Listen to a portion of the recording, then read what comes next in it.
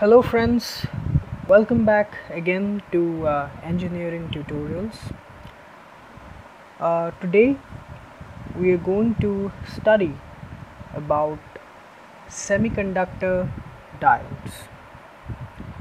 Now the semiconductor diodes are similar, they are the same thing as PN junction.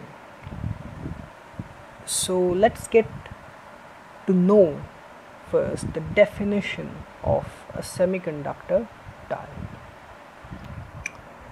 Now, a PN junction device formed by suitably joining p-type and n-type semiconductor is called as a semiconductor or crystal diode. So, it is the same thing as a PN junction. But why to use it? What is the necessity of a semiconductor diode? Why does it hold such an important place in the field of electronics engineering? Electronics it has one unique property that it conducts current in one direction in one direction only. It conducts only when it is forward biased and no current flows through it. That is conduction is zero when it is reverse biased. It permits the flow of current only in a single direction it is unidirectional. It permits flow of current in one direction and one direction only. So let's first uh, see the symbol of a PN junction diode. Now it consists of an arrowhead arrow mark followed by a vertical bar so this arrowhead represents the p-type part of the pn junction while the arrowhead resem- or signifies the n-type end of the pn junction. So the pn junction diode has two terminals the p-type terminal or the arrowhead terminal and uh, the n-type or the vertical bar end or vertical bar terminal so next we are going to discuss about the biasing of a semiconductor diode we know biasing simply means applying certain voltages to a device. So, similar to the biasing of the PN junction, there are two modes of biasing a semiconductor diode forward biasing and reverse biasing. So, we are going to uh, study these two things one by one separately. Now, forward biasing of a PN junction diode. Now, a PN junction diode is said to be forward biased when the arrowhead end or the arrowhead terminal which is the p type end is positive or it is connected to the positive terminal and the vertical bar end or the n type end is connected to the negative terminal of the supply battery. So it is uh, exactly same as that of the biasing of a PN junction. So it permits the flow of conventional current in the direction of the arrowhead the direction of the arrowhead uh, denotes the direction of the current flow in the circuit from the positive terminal to the negative terminal of the supply. Next comes reverse biasing.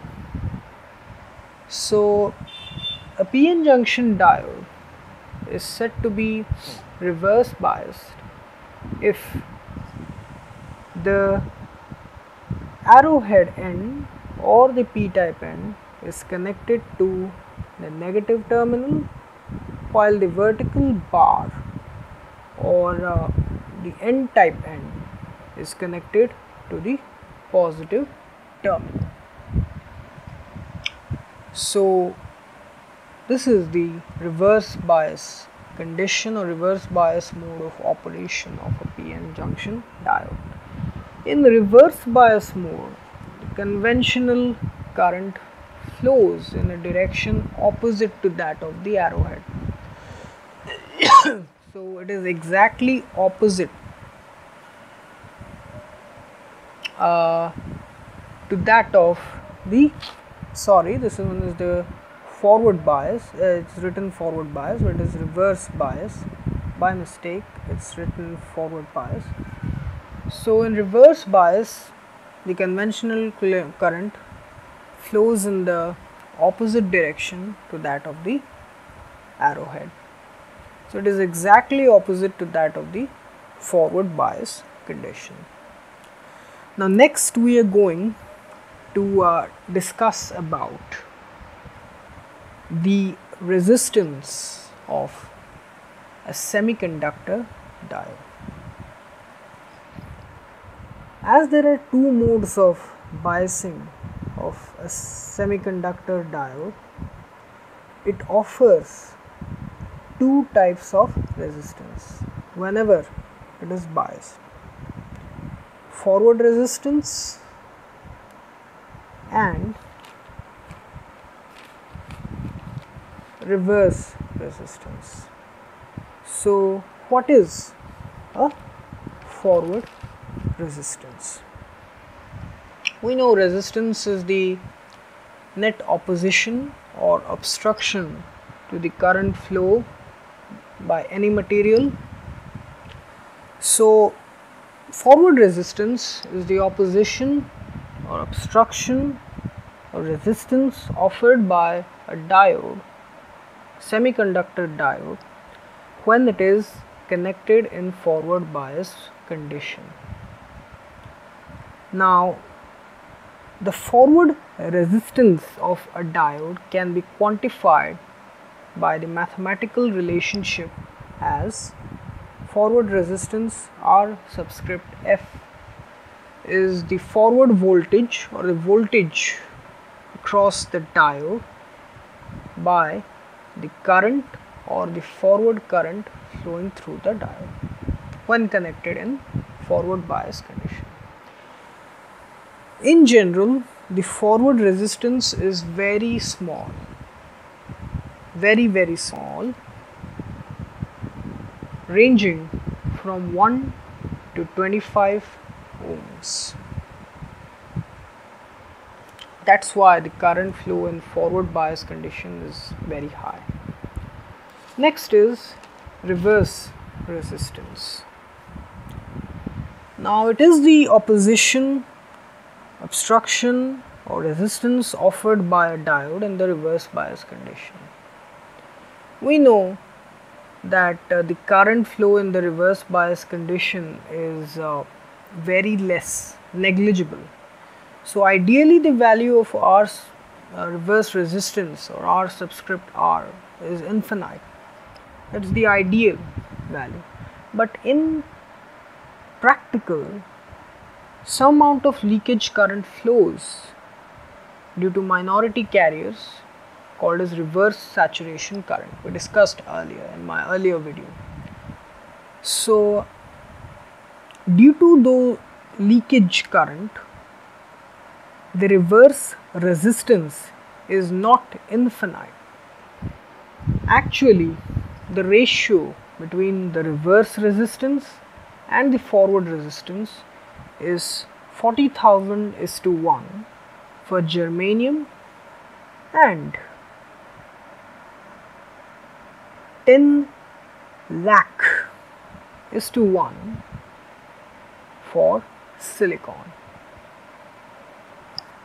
So obviously the reverse resistance is very high but it is not infinite as some amount of leakage current or minority current or reverse saturation current flows even though it, the diode is in reverse bias mode.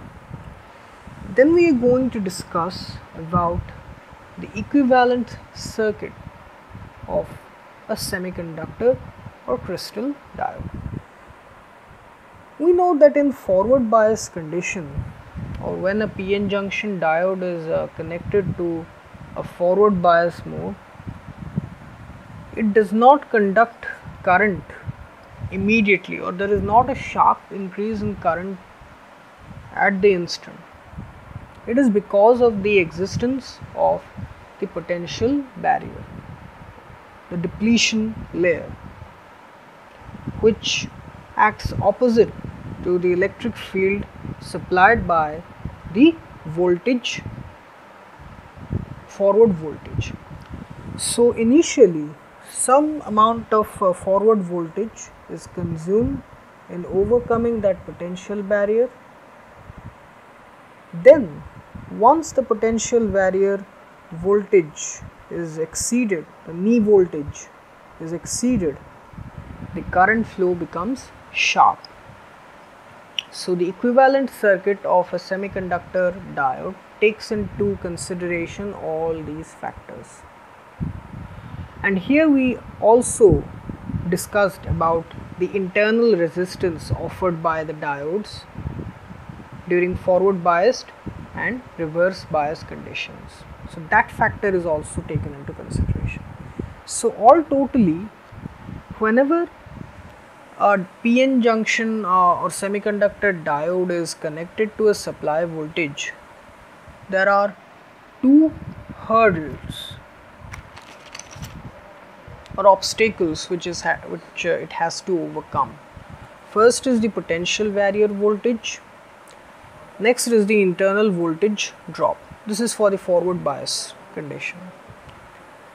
Is the forward current I subscript F and RF is the forward resistance which is uh, lies in between 1 to 25 ohms. so here we have various models to uh, quantify the equivalent circuit. In this model a PN junction diode can be represented by a voltage along with a forward resistance then the diode. Now this one is the forward voltage applied. Now applying KVL in this circuit we get Vf minus Vb which is the barrier voltage and the voltage drop across the forward resistance the product of the forward current and the forward resistance. So here are the two obstacles which the forward voltage has to overcome to achieve unhindered flow of current. The built-in potential, the barrier potential and the IR voltage drop due to the forward resistance. So, at the knee voltage or the built-in potential, the current starts to fo uh, follow a linear relationship and this much amount of voltage is used up in overcoming the potential barrier.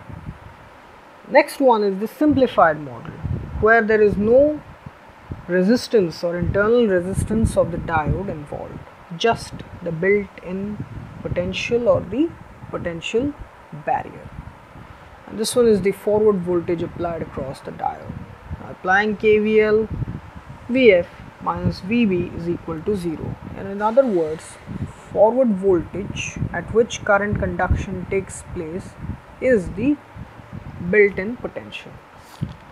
Now the voltage current graph is like this at VB there is a sharp increase in current as there is no IR drop it does not obey a ohmic relationship as it is done here in the this there's an ohmic curve but here there's a sharp increase at VB.